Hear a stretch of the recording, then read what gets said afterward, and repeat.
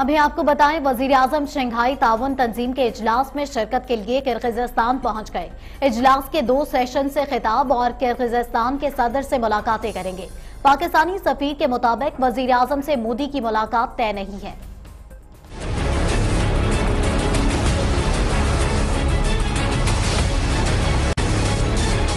Shanghai تعاون تنظیم کے اجلاس میں شرکت کے لیے وزیر اعظم عمران خان کے ہمراہ وزیر خارجہ مختوم شاہ محمود قریشی اور موتن خصوصی عثمان ڈار بھی کرغزستان پہنچے۔ کرغزستان کے دارالحکومت بشکیک روانگی سے قبل شاہ محمود قریشی نے کہا کہ ایس سی او اجلاس کا مقصد خطے کی اقتصادی حالت کے اقدامات کا جائزہ لینا ہے۔ چند روز قبل او آئی سی کی وزرائے خارجہ کونسل کا اجلاس ہوا تھا۔ وزیر خارجہ نے کہا کہ پاکستان کی تجاویز ایس سی او لیڈرشپ کے سامنے رکھی جائیں گی، جس پر وہ فیصلہ دیں گے۔ وزیر اعظم عمران خان کی دیگر ممالک کی قیادت سے بھی ملاقات اور مشاورت ہوگی۔ واضح رہے شنگھائی تعاون تنظیم کے اجلاس میں بھارتی وزیر اعظم نریندر مودی بھی شرکت کر رہے ہیں۔ تاہم، وزیر اعظم عمران خان اور بھارتی وزیر اعظم کی اجلاس کے دوران سائیڈ لائن پر ملاقات کا کوئی امکان ظاہر نہیں کیا جا رہا۔